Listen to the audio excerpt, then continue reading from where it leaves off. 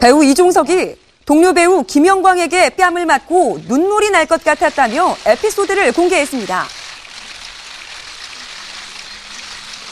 이종석은 지난 15일 열린 영화 피 끓는 청춘 언론 시사회에서 극중 김영광에게 정말 많이 맞았는데 소감이 어떻느냐는 질문에 형이 정말 세게 때렸다. 한 대 맞으니 눈물이 날 것 같았다라고 말했는데요. 이어 스태프들이 괜찮냐고 하는데 그 눈빛이 못 견디겠더라. 울 것 같았는데 어떻게 형에게 덤비겠나. 그냥 받아들였다라고 말해 웃음을 줬습니다.